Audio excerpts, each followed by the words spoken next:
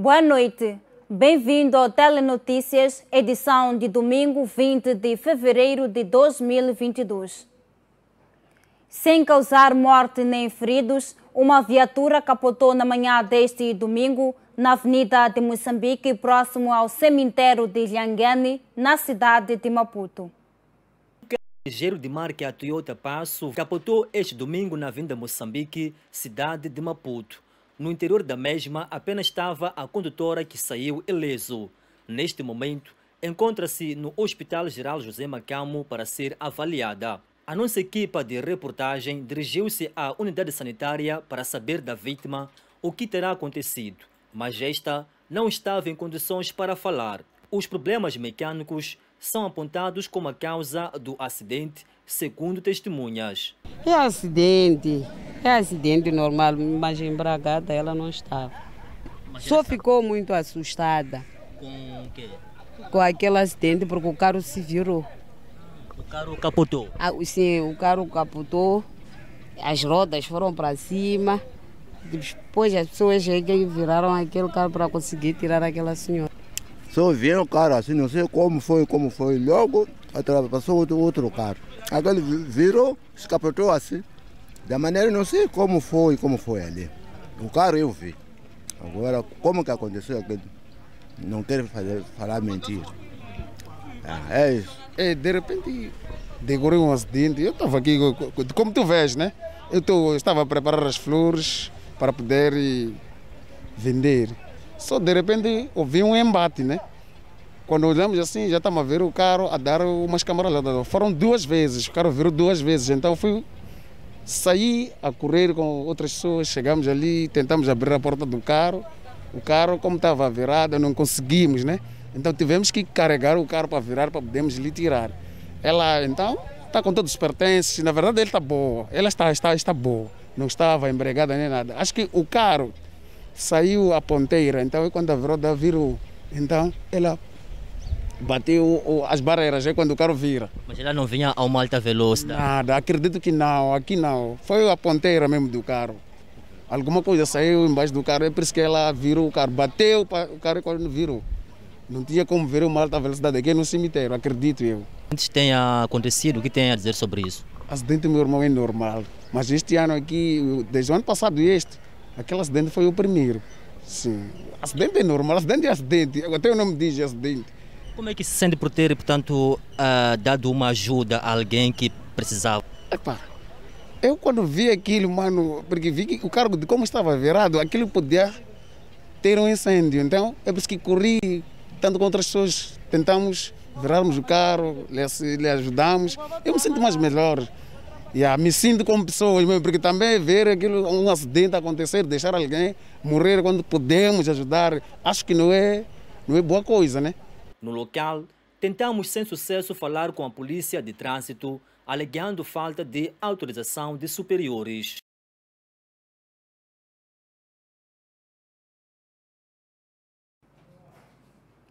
Segundo o primeiro-ministro Carlos Agostinho do Rosário, o governo tem focado as suas atenções em ações conducentes ao bem-estar dos adolescentes e jovens, facilitando o acesso ao ensino, formação profissional, emprego e habitação.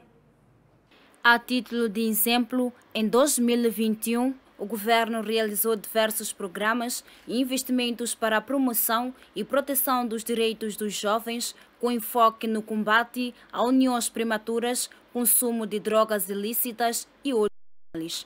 Segundo notícias, a garantia foi dada nesta sexta-feira na cidade de Maputo, no fim da reunião do Comitê Intersetorial de Apoio ao Desenvolvimento de Adolescentes e Jovens, orientada pelo primeiro-ministro Carlos Agostinho do Rosário. O evento destinava-se a apreciar as atividades realizadas em 2021 no contexto da juventude e perspectivar ações para o presente ano.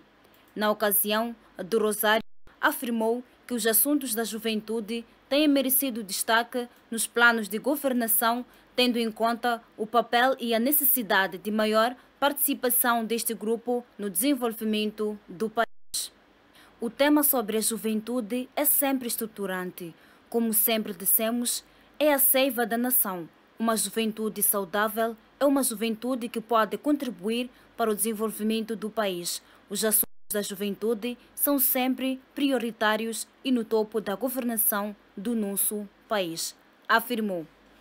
O secretário de Estado da Juventude e Emprego, Osvaldo Petersburg, disse por seu turno que o governo continua a priorizar o acesso à habitação condigna, emprego e autoemprego, empreendedorismo e inclusão digital.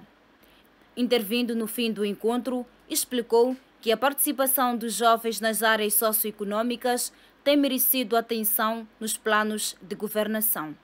Porém, a pandemia da Covid-19, o terrorismo na província de Cabo Delgado, a exiguidade de recursos concorreram para que algumas das ações planificadas não fossem realizadas no ano passado.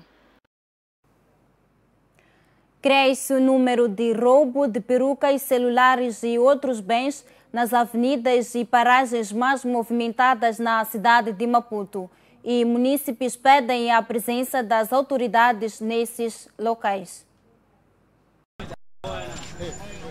É nas paragens e avenidas mais movimentadas que os amigos do alheio atuam. O mercado Estrela Vermelha, o bairro da Malanga, os terminais rodoviários da Junta, Chiquelene Zimpeito são considerados os pontos mais críticos onde os malfeitores atuam em plena luz do dia. Celulares, bolsas, carteiras e perucas têm sido os bens mais procurados pelos malfeitores para posteriormente abastecerem o mercado negro. Neste local onde depois de arrancarem bens alheios, os amigos do alheio, portanto, eh, fogem e entram nesta mata. Depois que entram aqui, ninguém mais lhes pega. É uma mata abandonada, é um local deixado à sua própria sorte. Então, quando eles arrancam celulares, eh, perucas ou qualquer outro bem, eles entram nessa mata e também as pessoas que perdem os seus bens, é, tanto elas têm medo de entrar neste lugar, tanto neste local, porque é, quiçá é, o malfeitor tem consigo uma arma branca ou qualquer outro instrumento contundente para ferir, é, portanto, a pessoa. Então, aqui é, portanto, com, conforme a imagem pode é, documentar, é um local abandonado, é um local praticamente esquecido. Estamos na paragem é, da junta. Quando saímos aqui, nós podemos é, aqui ver, portanto, é, um monumento portanto, ou seja, a praça onde está o monumento é, de um grande herói nacional, falo de Felipe Samuel Magaia. Mas mesmo assim, os amigos do alheio não temem, portanto, a isso. Também aqui há pouca presença da Polícia da República de Moçambique, daí que eles encontram espaço para fazer das suas. A verdade é que as pessoas já estão cansadas de serem roubadas os seus bens. Elas até é, reconhecem que aqui existe esse ato de criminalidade. Outras até têm medo, é, portanto, de falar é, nas câmeras, devido mesmo a esses criminosos. Aqui o Paruque vai aqui mostrar um pouco como é que está, portanto, o local. É uma mata praticamente abandonada, é uma mata praticamente deixada. Aqui ninguém pode entrar assim que o malfeitor é, roubar um bem, além é, de ser uma mata, é um local usado para a deposição de todo tipo de lixo. Aqui nós encontramos fezes, encontramos qualquer coisa, pessoas urinam é, neste lugar. Face a esta onda de criminalidade, munícipes pedem a presença das autoridades nas principais vias onde os amigos do alheio atuam. Foi no período de manhã, naquela hora da ponta, eu estava dentro de chapa, eu fiquei despercebido e o vidro estava aberto. Meteu a mão, arrancou o celular e, e fugiu. Hum. Fui participar do caso na polícia, até data hoje, ainda não me disseram nada. Entrei no chapa, né? Não sei como é que o miúdo apareceu. De repente eu me percebi, eu não tinha o telefone na mão. Roubou e fugiu? Fugiu, sim.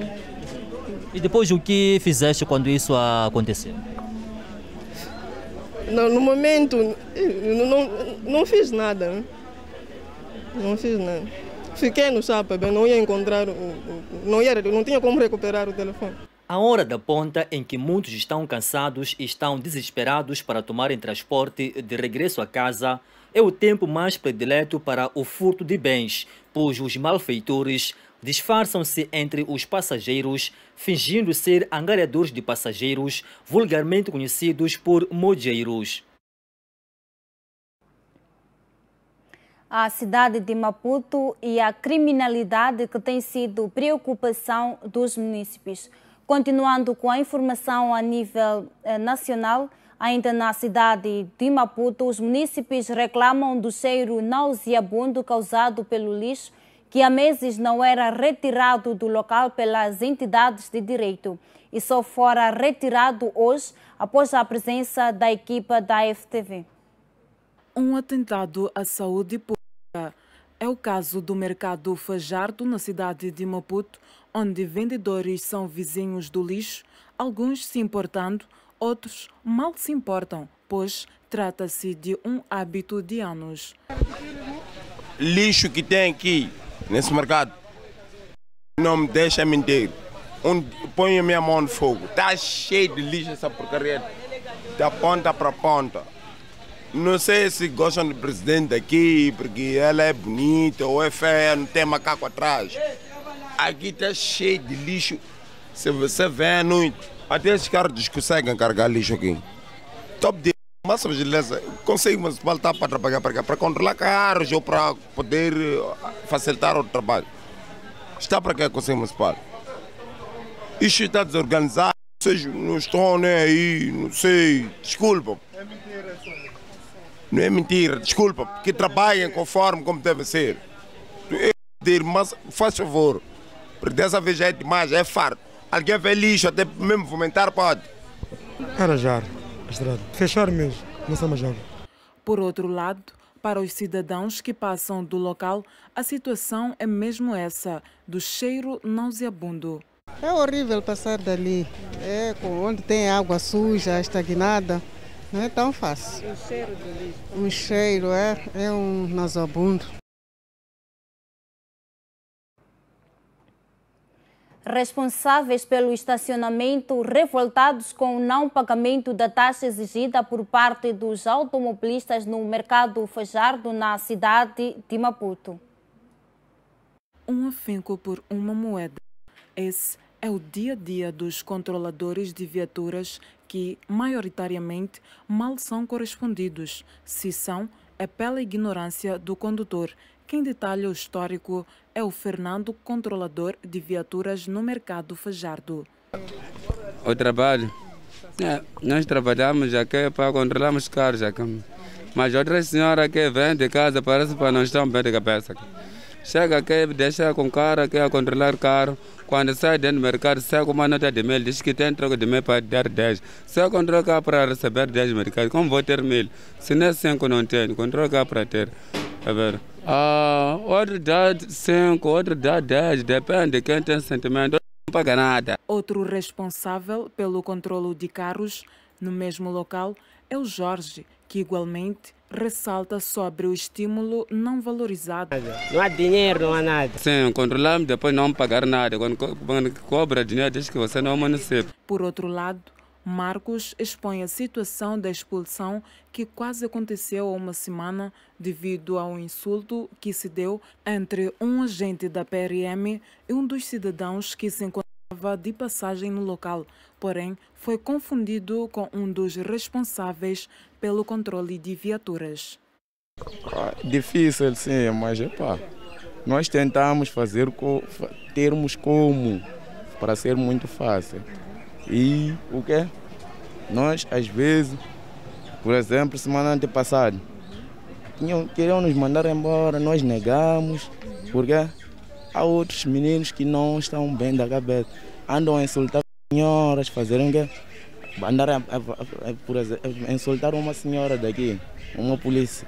Nós pedimos a eles não fazem isso, só pegarem a pessoa que está a fazer o quê? Isso aí. E dito feito, fizeram isso, nos entenderam. Até agora nós ainda continuar a procurar nosso pão para conseguirmos viver. O presidente da República, Felipe Nyusi, declarou nesta sexta-feira em Bruxelas na Bélgica que Moçambique recebeu vários apoios da União Europeia e de África para combater o terrorismo e não excluiu a possibilidade de se acionar para o efeito a Força de Alerta Africana e se se, se julgar necessário.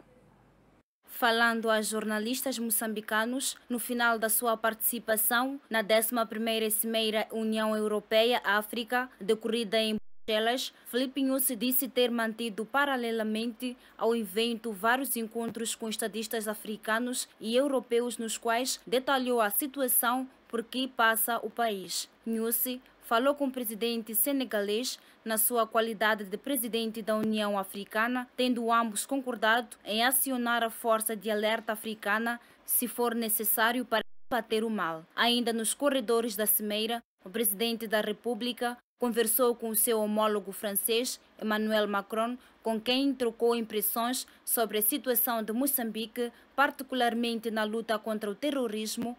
Macron não entendeu o desejo de apoiar Moçambique no segmento da posição da União Europeia alcançada durante a visita que o presidente da República efetuou semana passada a Bruxelas, sede do bloco comunitário. Mas também conversou com outros estadistas para lhes falar de outras matérias, tendo recebido apoios diversos. Sobre a participação da Cimeira, Nussi disse ter sido um sucesso, pois conseguiu levar o país ao mundo, procurando agora levar o mundo ao país. Mas isto, segundo sublinhou, só pode ser alcançado com a paz e segurança e com o regresso da população deslocada das zonas de conflito. Referiu que a sua participação em diferentes painéis permitiu também perceber a situação em que vivem outros países, particularmente agora que o mundo enfrenta vários desafios, como a crise sanitária decorrente da Covid-19, as alterações climáticas, a migração, entre outros. Também trocou impressões sobre as áreas da agricultura, educação, formação profissional, infraestruturas e produção de vacinas. Subiu para 136 o número de mortes nas inundações em Brasil. Notícia a acompanhar no Momento agora de sairmos para uma curta pausa.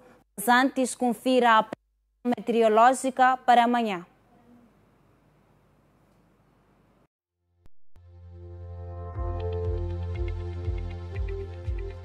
Na zona sul do país, para Maputo, prevê-se céu maioritariamente nublado, com uma temperatura máxima de 32 graus Celsius e uma mínima de 22 Xaixai, céu parcialmente nublado com uma temperatura máxima de 34, mínima de 22 e Inhambane vai registrar céu limpo com uma máxima de 30 e mínima de 24. Na zona centro do país, para Beira, a previsão é de céu nublado com uma máxima de 30, mínima de 24, Chimoio 26, mínima de 19, Tete com chuva vai registrar uma máxima de 27, mínima de 23 e para Quelimane prevê-se trovoada com uma máxima de 30 e mínima de 23. Já na zona norte do país, para Nampula, a previsão é de trovoada com uma máxima de 30, mínima de 20, Pemba 29, mínima de 24 e Lixinga vai registrar chuva com uma máxima de 22 e mínima de 16.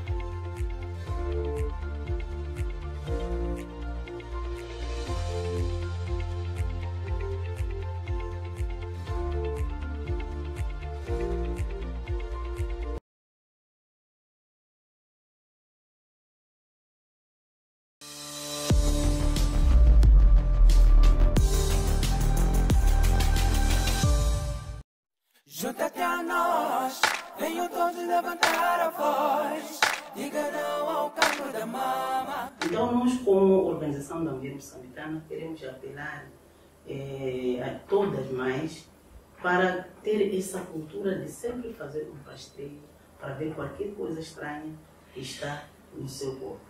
Ir ao posto de saúde, não dizer, se sentir alguma coisa, dizer, ah, isto vai passar, vai passar às vezes não passa, é mesmo campo da mão. Portanto, todas nós temos que fazer esse trabalhinho, é muito simples. Quem é que não pega na sua mama todos os dias? Todos os dias vamos tomar banho. E nesse momento, a gente pode fazer o teste. Depois de fazer o nosso teste, aquilo que sentirmos de estranho, é melhor ir a quem sabe, sabe mais. também queremos apelar que esta iniciativa não seja só para o mês de outubro, seja uma iniciativa para sempre. Toque, toque, toca. Pode salvar a tua vida. Junta-te a nós, venham todos levantar a voz. Diga não ao canto da mama. Queridas filhas e irmãs, no caso de sentires um caroço na mama, dirige-se imediatamente a um centro de saúde. Mais vale prevenir do que remediar. Toque, toque, toca. Pode salvar a tua vida.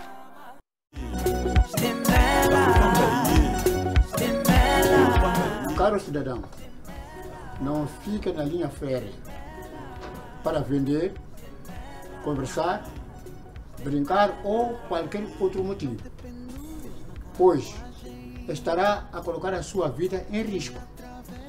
A sua segurança em primeiro lugar. As tardes do sábado trazem uma nova forma de poder debater o mundo. O romantismo do Muro de Berlim é um símbolo, símbolo mediático. Mas business continua a acontecer, business as well. Vamos tentar compreender o que, que se passa e quais são as soluções que podemos ter para aquilo que é o debate da pauta mediática internacional. Acho que ouviu o, o, o discurso de Mandela, né? quando encontrou-se com americanos, disse: Olha, o, a Rússia não é nosso inimigo, Cuba não é nosso inimigo. Olá, uh, sou José Matamulana, assista aqui na FTV todos os sábados o debate internacional. Saudações, sou Gabriel Ngomani, assista todos os sábados ao debate internacional aqui na FTV. Todos os sábados aqui na FTV.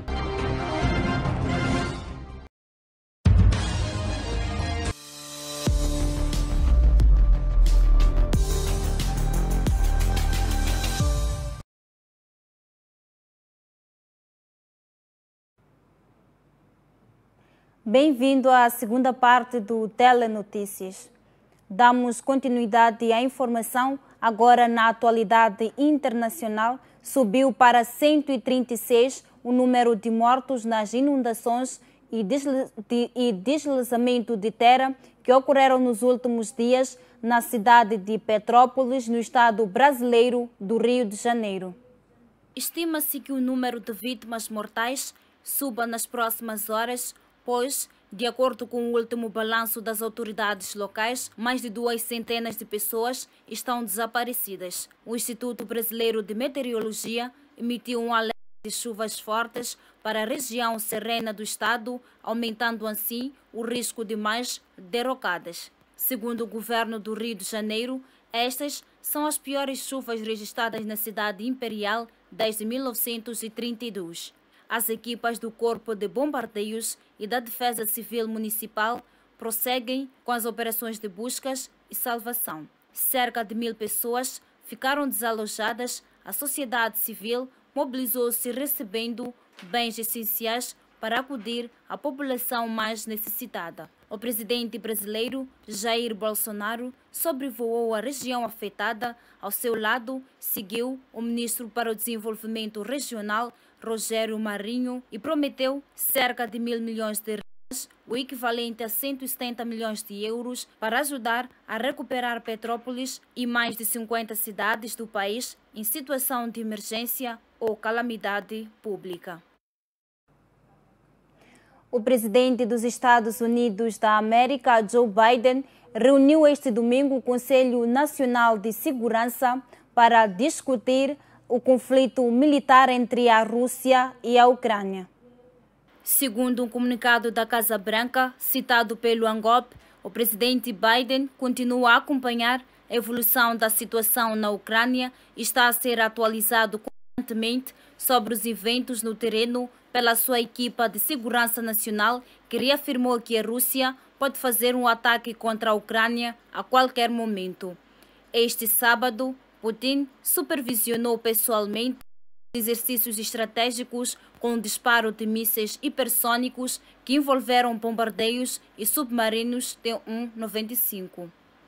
Nos últimos dias, o exército da Ucrânia e os separatistas pró-russos têm vindo a acusar-se mutuamente de novos bombardeamentos no leste do país, onde a guerra entre essas duas fações se prolonga desde 2014.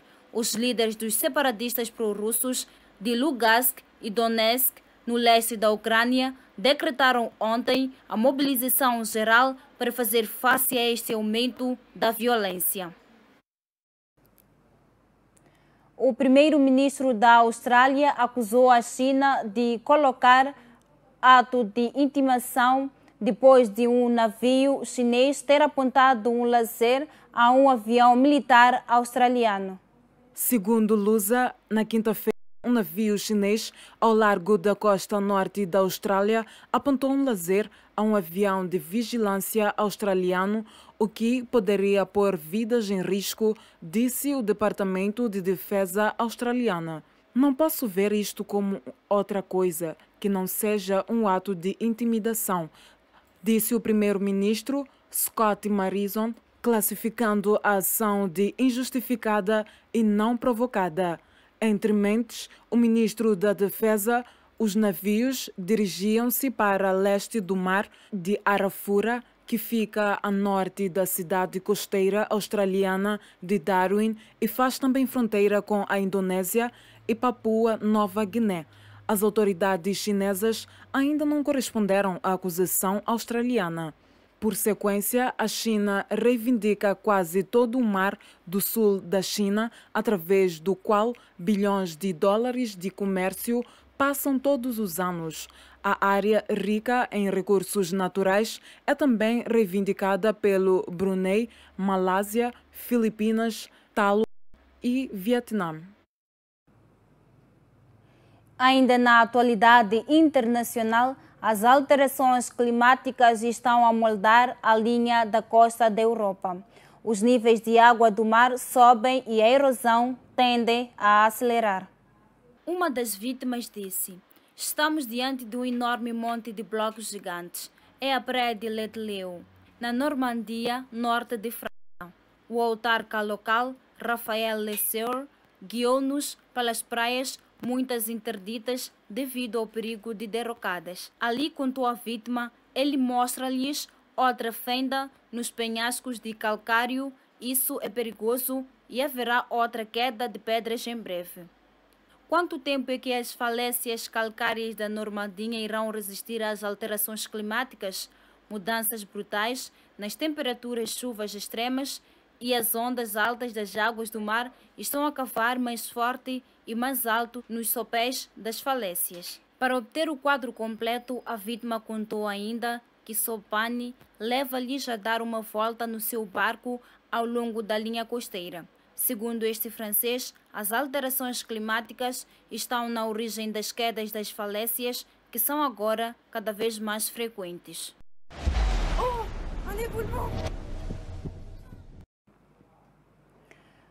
Após essa nota, vamos acompanhar a taxa cambial do dia de hoje.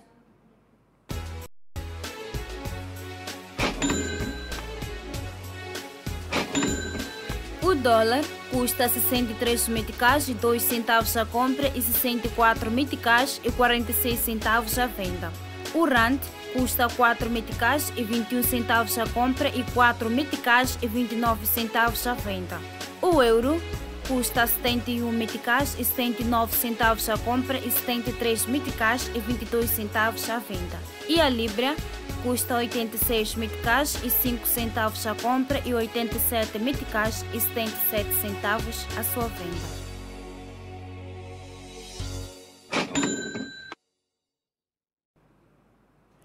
E desta forma colocamos o ponto final da presente edição do Telenotícias. Hoje, domingo 20 de fevereiro de 2022. Assim, caro telespectador, gratos pela preferência. Fique bem. Até mais.